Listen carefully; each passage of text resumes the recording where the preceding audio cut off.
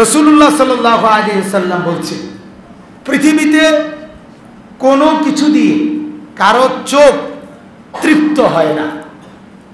এটা একটা নীতি, মনে রাখেন। দুনিয়ার কোনো কিছু দেখে কারও চোখ চোখ আর কি, শান্ত হয় না। আপনি সবচেয়ে সুন্দর বিল্ডিং দেখার পরে তারেক বলেন গিয়া আরও একটা সুন্দর বিল্ডিং আছে, আর দেখবেন কহ চলো। সুন্দরী নারী দেখে তারে বলেন? আর দেখবেন? হ দেখ। আবার চাইছে। তা আর দেখবেন? হ আবার দেখো। আর দেখবেন? না আবার দেখো। তাইলে দুনিয়ার কোনো কিছু দেখে চোখ কি হয় না? তৃপ্ত? কিন্তু জান্নাতের নিয়ামত দেখার পর বান্দার চোখ শীতল হয়ে যায়। আল্লাহ কোরআন বলেছে। জান্নাত দেখার পর জান্নাতের নিয়ামত বান্দা অন্য আর কিছুই দেখতে চাইবে না, বললেও চাইবে না। এজন্য হাদিসের মধ্যে আছে, কিতাবে আমরা পড়ছি, সমস্ত জান্নাতি মনে করবে, আমি জান্নাতের মধ্যে সবচেয়ে সুখে আছি। সমস্ত জাহান্নামি মনে করবে, গোটা জাহান্নামের মধ্যে সবচেয়ে বেশি কষ্টে আমি আছি। নবী বলেন, এটা জান্নাতির একটা পুরস্কার। সে নিজেকে সবচেয়ে বেশি সুখী মনে করবে। এটা জাহান্নামীর একটা শাস্তি।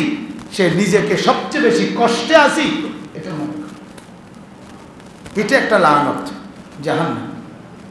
এজন্য দয়া করে আমরা প্রত্যেকে ইনশাআল্লাহ নামাজ, আল্লাহ তালার জিকির, বন্দিগি এর উপরে লেগে থাকি। এ ছেলেরা, বাবারা, ভাইয়ারা, কিছু কখনো নামাজ পড়েন, কখনো পড়েন না। এই আচরণটা ছাড়ে। দেখেন, সাহস করে, হিম্মত করে, নিজের জীবনে পাঁচ ওয়াক্ত নামাজ লাজেম বানায় না বাধ্যতামূলক, কোনো অসুবিধা হয় বিশ্বাস করেন আল্লাহ শকরের জন্য বলি, আমরা ব্যক্তিগতভাবে কি পরিমাণ ব্যস্ততায় যে সময় কাটাই? আপনি তিনটা দিন আমার সাথে, আমার গাড়িটার মধ্যে, আমার খরচ, খানাও আমার, থাকার জায়গাও দিব আমি। কোনো খরচ লাগবে না আমার, খানা, দানা, সব। শুধু আপনি তিন দিন আমার সাথে থাকবেন। দেখেন আপনার গায়ে সয়নি। বহুত জন পর্যন্ত আমার সাথে থাকার জন্য আলেমদের মধ্যেও, জোয়ান আলেম আসছে বহুবার আমার, দুই দিন, তিন দিন থাইকা জায়গা মানে এর গায়ে হয় না। খাদেম, হেইতে আমার টোয়াই হয় না উঠি। অর্থাৎ সারাক্ষণ দৌড়ের উপরে থাকি। সারাক্ষণ ওর দৌড়ের উপরে থাকি। এই যে বিষয়টা, এতটা পরিশ্রম, মেহনতের পরেও বোঝানোর উদ্দেশ্য হলো এটা। এ সব পরিশ্রম মেহনত যাই হচ্ছে আল্লাহ করাইতেছে। কিন্তু এত কিছুর ভিতরে দিয়ে পাঁচ ওয়াক্ত নামাজ আরামসে প্রতিদিন আদায় হইতেছে। আমার কথা নেই ব্যস্ততার কারণে নামাজ কেমনে ছুটে এটা আমার বুঝে পারে এটা কোনো কথা নেই আরে বলে কি পাগল? অবসর ক্লান্তি এটার কারণে নামাজ ছুটবে কেন? আমি মুসলমান না। আমি তো মুসলমান বেটা। তা আমি মুসলমান, আমি মানুষ। আমার নামাজ ছুটবে কেন? আমি কি জানোয়ার নাকি? জানোয়ার না নামাজ পড়ে কুকুর বিড়ালে না নামাজ পড়ে না বেটা। গরু ছাগলে না নামাজ পড়ে না। মানুষের বাচ্চা কেমনে নামাজ ছাড়া থাকে? আর নামাজ না পড়লে ওটা মানুষের বাচ্চা হয় কেমনে? সেজদা না করলে ওটা মানুষ হয় কেমনে আবার? মানুষকে আল্লাহ তালা কেন বানাইছে?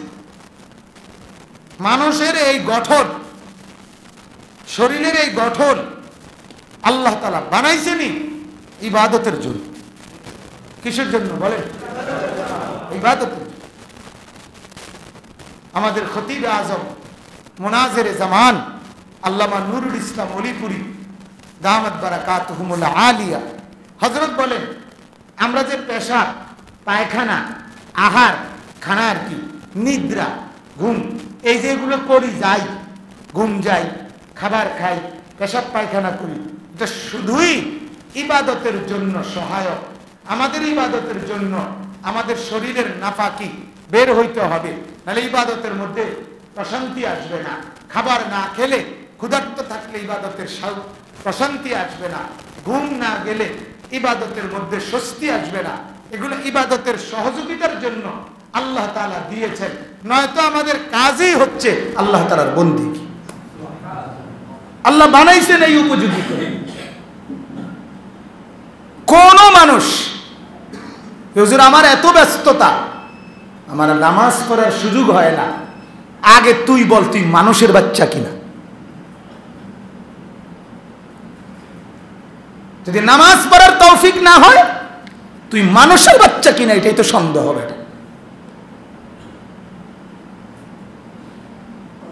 নামাজ ছুটবে কেন মুসলমানের ফজর ছুটবে কেন? ফজর ছুটবে কেন? আপনি কি গভীর রাতে, লম্বা রাত, কোনো দিন কোনো কারণে ওঠেন না? কথা বলেন না কেন? তাহলে আপনি ফজরের নামাজ উঠবেন না কেন? আপনি কি প্রতিদিন এগারোটা বাজে ওঠেন? তা আপনি তো সাতটা বাজে, সাড়ে ছটা বাজে, আটটা বাজে, ওঠেন। সেটা দুই ঘণ্টা আগে উঠলে অসুবিধা কি? কি অসুবিধা? শুধুই গাফলতি। শুধুই গাফলতি। শুধুই অহংকার। শুধুই সীমা লঙ্ঘন। শুধুই নিজেকে আল্লাহ চাইতে বড় মনে করে। আল্লাহরে দরকার। নাফর মানিটা ভাবে না। মনে করে আল্লাহ লাগবে না। আল্লাহর দিয়ে আমি কি কেন কিন্তু ব্যারামে পড়লে অ্যাক্সিডেন্টে ঠ্যাংটা ভাঙ্গে গেলে বউয়ের সিজার লাগলে ফুতের যখন ব্যারাম ধরে ক্যান্সার লাগে তখন আল্লাহ আল্লাহ আল্লাহ আল্লাহ। সোজা তারের মতো সোজা। কথা কয় তখন হুজুর দোয়া করি। আমার কুয়া হেসেমে কুয়া হেসেমে কুয়ানি দেখলে মনে হয় কি পরিমাণ অসহায় আল্লাহ তালা তো এটা বলছেন বাংলা অসহায় হলে যাকে ডাকো সে আমি ছাড়া কে বিপদে পড়ে দূর করে সে আমি ছাড়া কে জমিনে চলার উপযোগী তোমাকে বানায় সে আমি ছাড়া কে আম্মাইয়ুজিবুল ইদা বলেন, বান্দা, অসহায় যখন হয়ে যাও, মুসিবতে যখন পড়ে যাও, তখন মনের অজান্তে যারে ডাক দাও। বলো না, সেটা আমি ছাড়া আর কে? কে? অ্যাক্সিডেন্টে পড়ে গেলে বন্ধু, তখন তুমি তো তোমার বন্ধুকে ডাকো না। তখন আর ফ্রেন্ডদেরকে ডাকো না। তখন মনের অজান্তেই ভিতর থেকে যার নাম বেরিয়ে আসে, সে তো কেবলই আল্লাহ।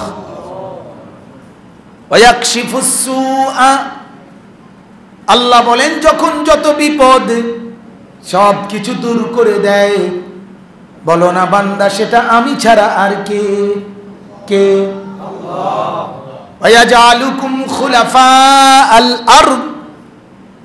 রব্বুল আলমিন বলেন, হাত পাও অঙ্গ ঠিক রেখে জমিনের মধ্যে চলার উপযোগী তোমাকে বানিয়ে দেয়, সেটা আমি ছাড়া আর কে? কে? যদি দুই পাও সমানভাবে না দাঁড়াইতো,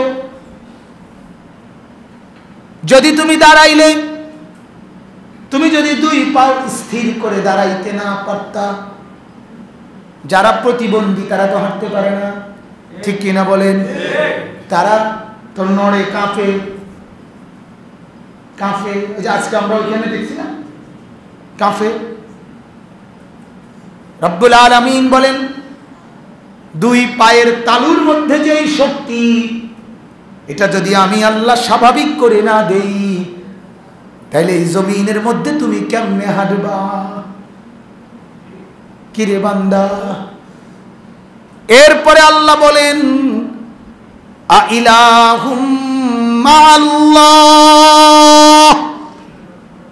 বলো না বান্দা, আমি ছাড়া আর কে? আল্লাহ ছাড়া আর কে? কালিলাম মা তাদাক্কারুন। অথচ তবুও বান্দা উপদেশ নিয়ে থাকো কম। এত বিপদ, এত অ্যাক্সিডেন্ট এত কবর, এত লাশ, এত জানাজা, মানুষের এত মুসিবত চতুর্দিকে দেখার পরেও একটা বারও তুমি সবক নেও না। চতুর্দিকের এত বিপদ দেখে তোমার ভিতরেও তো এই অনুভূতি আসা উচিত যে আল্লাহ চাইলে তো এটা আমাকেও দিতে পারতেন। হুম? আমাকেও তো দিতে পারতেন। আমার পাও যখন ভাঙছে, আমার মনে আছে।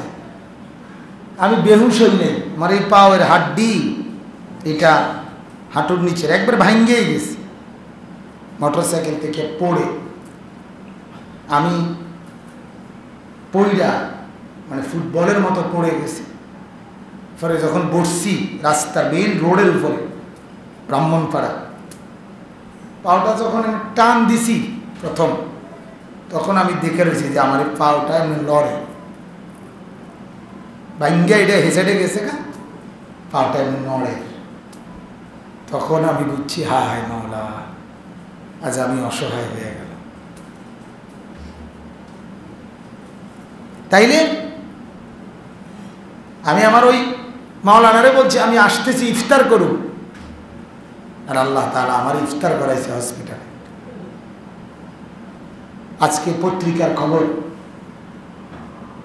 এই গত নয় দিনে ঈদের আজকের পত্রিকায় বলছি এবং যমুনা টেলিভিশনে নিউজ করছে।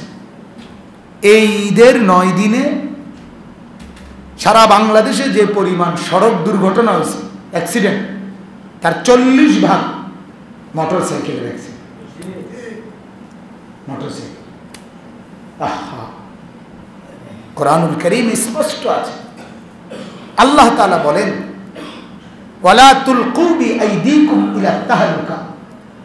আমার বান্দা, তুমি তোমার নিজেকে ধ্বংসের দিকে ঠেলে দিও না।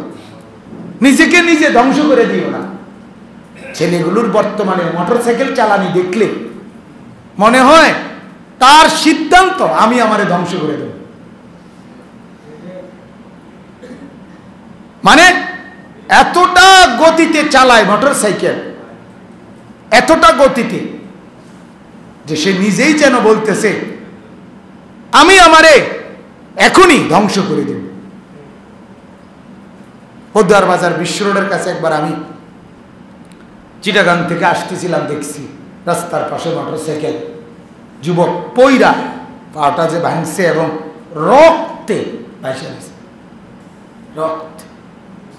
এ কারণে আমরা প্রত্যেকে বাজান। আমার এতগুলো কথা কাকুতি, আকুতি প্রতিনিয়তই বলি আমি। আমি আর একটা আসলে তবিয়ত আমার। আমি যেটা বলতে চাই, এটা খুব প্রেশার দেই বারবার বলি এক কথা, সর্বোচ্চ প্রেশার দিয়া বলতে চেষ্টা করি। আমি মাঝে মাঝে বলি যে আমার মন চায় যুবকের বুকের মধ্যে মুসলমানের বুকের মধ্যে হ্যামার দিয়া বাইরাইয়া যেন ভিতরে ঢোকে। এটা দিয়ে যেন হ্যামার দিয়া বাইরাইয়া হইল, যদি পারতাম ভিতরে ঢুকাইতে, বুঝাইতে, তো চেষ্টা করতাম। যে তবুও বুঝো গুণা তোমারে সুখ দিবে না। আল্লাহর নাফরমানি তোমারে আখেরাত তো বরবাদ করবেই। দুনিয়াতেও তৃপ্তি দিবে না। আজকে এই মাত্র মাওলানা ইয়াহিয়া আমার সাথে আসছে। পরে আমি বলতেছিলাম যে আমাদের মহিলাদের বেপরদিগি আজকে রবিবারে ঈদ হয়েছে আজকে শুক্রবার। এখনও পর্যন্ত বেড়ানি মহিলা পুরুষদের বেড়ানি এক বিন্দু কমে নাই। এবং গ্রামে গ্রামের ব্যাপর দিঘি তো বিষয়টা হলো এই, আমার বুঝে ধরে আর যে আমার দেশের মুসলিম পুরুষ এবং নারীরা সিদ্ধান্ত নিছে যে রোহিঙ্গাদের মতো চূড়ান্ত আজাদ, খোদার গজব আমাদের উপরে সরাসরি না আসন পর্যন্ত। কাশ্মীরের মুসলমানদের মতো, ফিলিস্তিনের মুসলমানের মতো সরাসরি কাফের বেঈমান চূড়ান্তভাবে আমাদেরকে না মারণ পর্যন্ত যতক্ষণ পারি আল্লাহর নাফরমানি করে যাব যাতে করে খোদা বাধ্য হইয়া জালেম, কাফের আমগুর উপরে চাফায় এই পর্যন্ত ছাড় দিবে না, এটা মানুষ সিদ্ধান্ত নিয়েছে। ছেলেরা সিদ্ধান্ত নিয়ে লাইছে। খোদা গুণা কি পরিমাণ করতে পারি তোমার দেখাম উলঙ্গ ছবি কি পরিমাণ দেখতে পারি তোমার দেখাম খোদা। তোমার রাগ উঠতো না? তোমার রাগ উঠে স্যার তুমি আজাব দিতা না? আজাব নিয়ে স্যার না কি, বিষয়টা এমন না? আপনি বলেন। বলেন, কোরআনুল করিমের মধ্যে আল্লাহ তালা বলেন, কাদালিকা সাক্ষর না হালাকুম এবার এই আমার আয়াতের প্রসঙ্গটা বলি তাহলে শেষ করে আল্লাহ তালা কোরআনে বলেন, কাদালিকা সাক্ষর আমার বান্দা, কোরবানির এই জন্তুগুলো যেগুলো তোমরা জবাই করছ, এগুলোকে আমি আল্লাহ তোমাদের অধীনস্থ করে দিয়েছি। কে? এগুলোকে আমি বৈধ বানাইছি। এগুলোকে আমি জবাই করার মতো উপযোগী আমি বানাইছি। এগুলোকে তোমরা চাওয়ার ক্ষেত্রে সইবার মতো সোয়াইবার মতো যোগ্যতা আমি দিছি। আমি অধীনস্থ না বানাইলে আমি তোমাদের অধিকারের মধ্যে না দিলে তোমরা পারতে না। জঙ্গলের বাঘ, জঙ্গলের সিংহকে আপনি শোয়ান্ত অথচ এটাও তো চার পাওয়ালা, এটাও তো চার পাওয়ালা। রব্বুল আলমিন বলে, এটা আমি তোমাকে রিজিক হিসাবে খাবারের জন্য দিয়েছি। এজন্য এটাকে আমি তোমায় বসে আনবার মতো শক্তি, উপযোগী আমি বানাই দিছি। কাদালিকা সাখখারনাহা লাকুম। কোরআনে কোরআনে আছে আল্লাহ বলছে, বান্দা, পানির মধ্যে যে তুমি নৌকা চালাও, লঞ্চ চালাও, স্টিমার চালাও এই পানির উপরে ভাসতে পারতেছ? লঞ্চ এবং স্টিমারকে পানির উপরে ভাসাইতেছ? এই অধীনস্থতা পানিকে তোমার অধীনে আমি আল্লাহ তালা বানাইছি। নাহলে সুবাই তুমি যে বাতাসে উঠতেছ, বিমান দিয়া, হেলিকপ্টার দিয়া, আল্লাহ তালা বলেন, এটাকে বাতাসকে তোমার অধীনে আমি করে দিয়েছি। তাহলে তুমি পারতাম একটা বিমান, তিনশো যাত্রী তিনশো যাত্রী নিয়ে ওড়ে। প্রতিজন যাত্রীর ছিচল্লিশ কেজি সৌদি এয়ারলাইন্সে তেইশ কেজি করে দুইটা ব্যাগ। তাহলে ছিচল্লিশ কেজি মাল, কি পরিমাণ মাল? তিনশো পুরন ছিচল্লিশ, কি পরিমাণ মাল? এরপরে ফুয়েল একটা বিমান সাত আট ঘণ্টা আকাশে উড়বার জন্য তেল কি পরিমাণ? দেড় দুই লিটারের কম তো হইতো না। কথা কোন, কি পরিমাণ তেল? এরপরে এটার পার্সপুটসগুলো কি পরিমাণ ভারী? একটা বিমান আঠারো, বিশ লাখ, পঁচিশ লাখ, এক কোটি, দেড় কোটি, দুই কোটি, শত শত কোটি টাকা। শুধু কোটি না, শত শত কোটি টাকা, এক একটা বিমানের দাম। হাজার কোটি টাকা। অত্যাধুনিক যে বিমান, কি পরিমাণ তাহলে ব্যয়বহুল? এই এত ভারী, এটা আকাশে উঠতেছে সব্বুল আলমিন বলে, বান্দা, এটা আমি তোমার অধীনে করে দিয়েছি। বাতাসকে। তাইলে, এজন্য জন্য কোরআনুল করিমের মধ্যে আছে যখনই কেউ বাহনে চড়ে, এ লঞ্চে, স্টিমারে, বাসে, গাড়িতে, তারপরে বিমানে দোয়া কি সুবহানাল্লাযী সাখখারা লানা হাদা কেন আল্লাহ আপনার পবিত্রতা ঘোষণা করতেছি। আপনি এই বাহনটিকে আমার জন্য আপনি অধীনস্থ করে দিয়েছেন। এজন্য আপনার শুকর। নাহলে আমি পারতাম না। তো ঠিক আল্লাহ তালা বলেন গরু ছাগল ভেড়া বকরি দুম্বা ওট মহিষ এগুলোকে আমি আল্লাহ তাআলা তোমাদের অধীনস্থ করে দিয়েছি। কে করে দিয়েছেন? এরপরে আল্লাহ তালা বলেন কেন অধীনস্থ করলাম? লাল্লাকুম তাশকুরুন। এই কথা এটা বলা। আল্লাহ তালা বলেন যেন আমার শকর আদায় করতে পারো। এই জন্য। যেন কি কি জন্য দিছে বলেন? কি আদায় করা বলেন না? তাহলে আল্লাহ তালা আমাদের জন্য কোরবানির এই প্রাণীগুলোকে আমাদের উপযোগী জবাই করার, খাওয়ার, অধীনস্থ করে দিয়েছেন কেন? যেন আমরা আল্লাহর কি করতে পারি? এখন এই শকুর আদায় মানে কি?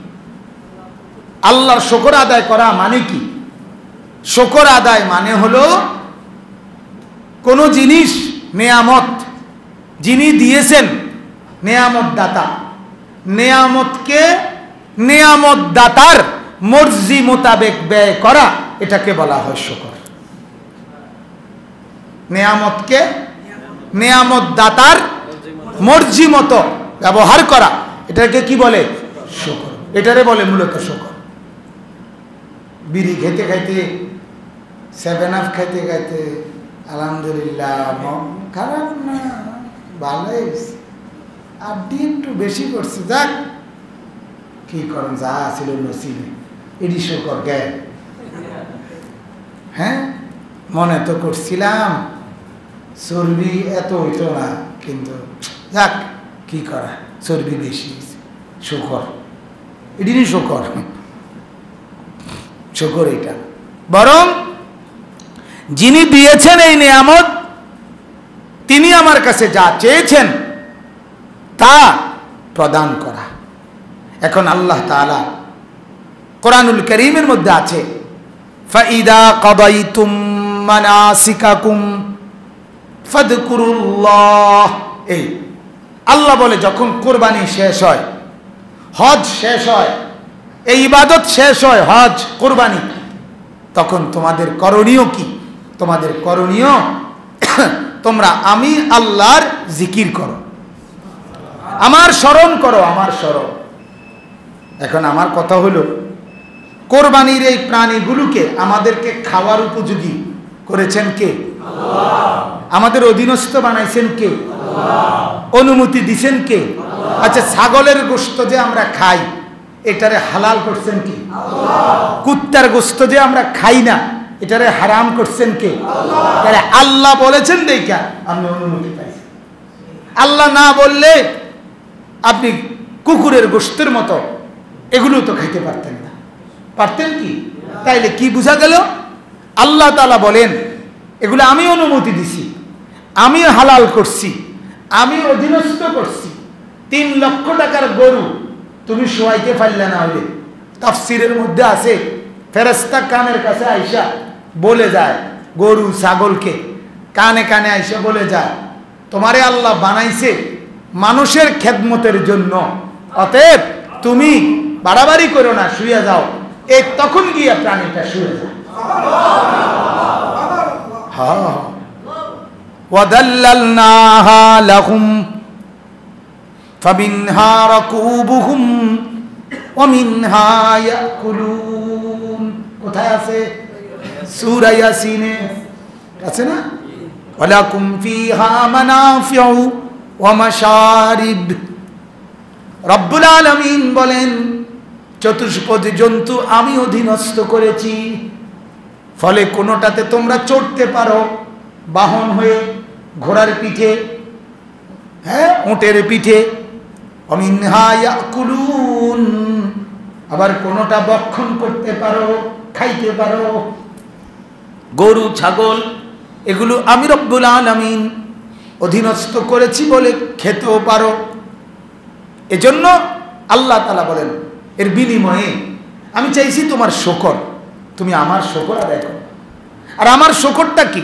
ফদকুরুল্লাহ, আমার জিকি আমার স্মরণ আমার স্মরণ। এখন আমার মাফ করেন, আপনারা ইনসাফের সাথে বলেন, এই আপনারাই বলেন। যেদিন কোরবানি দিলেন, সেদিন সাড়ে আটটা বাজে, সাড়ে নয়টা বাজে, দশটা বাজে, কোরবানি হলো। তাহলে এরপরে করণীয় ছিল আল্লাহকে স্মরণ রাখা। তাহলে সেদিন যাদের জোহরের নামাজ ছুটে গেল, আসরের নামাজ ছুটে গেল, মাগরিবের নামাজ ছুটে গেল, ফজরের নামাজ ছুটে গেল, এই নাফরমানরা কোরবানির পরে এই প্রাণীর গোস্ত খাওয়ার অনুমতি যে পাইল, আল্লাহ যে তারে অনুমতি দিল অধীনস্থ বানাইল, এটার কি শুকুর আদায় করল? বলেন না। ওই ডাকাতের প্রশ্ন করেন না।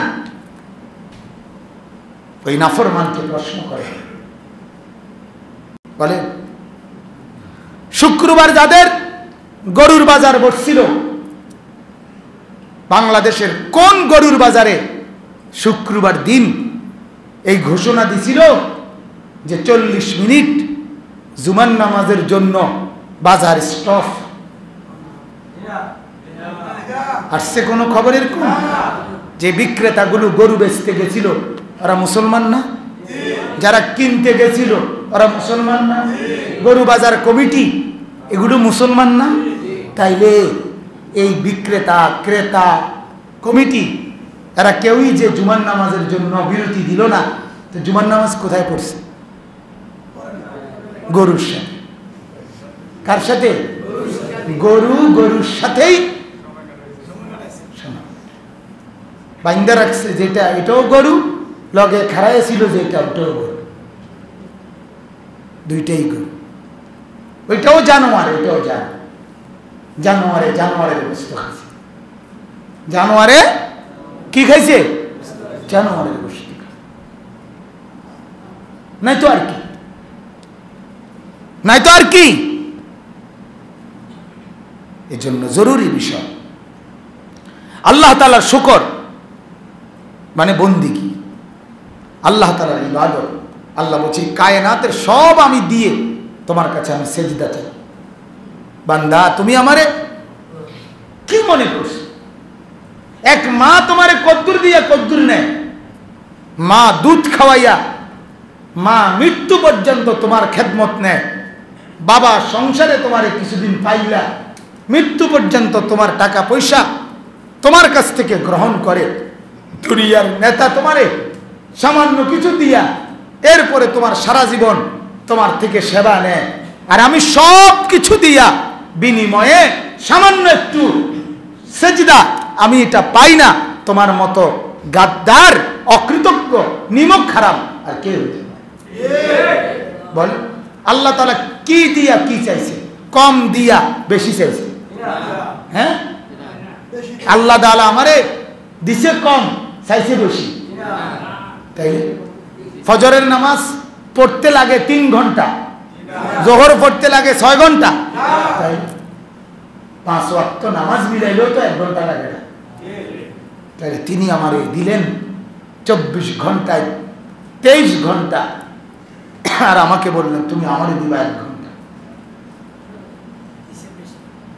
দিছে বেশি। দিয়েছেন কি পরিমাণ? আহা, লিয়াদ কুরুসমান মিন বাহিমাতিল আনআম। আল্লাহ বলে, বান্দা, আমি মায়া করে আমার চারঠেকওয়ালা প্রাণী, চতুষ্পদ অনেক আছে, তার মধ্য থেকে এই ওঁট ভেড়া, দুম্বা, গরু, ছাগল, মহিষ, এই প্রাণীগুলোকে আমি আল্লাহ তাআলা তোমার খাবারের জন্য রিজিক হিসাবে দিয়েছি। যদি আমি না দিতাম, কই পাইতাম আজ গোষ্ঠের মজা পাচ্ছ। গরুর গোষ্ঠের স্বাদ, খাসির গোষ্ঠের স্বাদ, মুরগির গোষ্ঠের স্বাদ এই স্বাদ যে আমরা পাচ্ছি, শুধু স্বাদ না, গোষ্ঠের থেকে যে আমিষ শরীরের জন্য প্রয়োজনীয় যেই বিষয় দরকার আমিষ, এটা আমার শরীরের মধ্যে পূরণ হচ্ছে। এটা কি শুধু অনুমতি না থাকলে গোস্ত খাইতে না পারলে শুধু সবজি দিয়া এটা কি কাবার হইতো? শুধু মাছ দিয়া এটা কি কাবার হইতো? তো আল্লাহ তাআলা আমাদেরকে বোঝার তৌফিক দান করুন। আমরা চেষ্টা করতেছি বাজার কলজার সবটুকু দিয়া বলতে। যে নামাজ সেজদা সেজদা। আল্লাহকে প্রাধান্য দেন আখেরাতকে প্রাধান্য দেন। অপরকে প্রাধান্য দেন। আল্লাহ তালা আমাদেরকে তৌফিক দেন।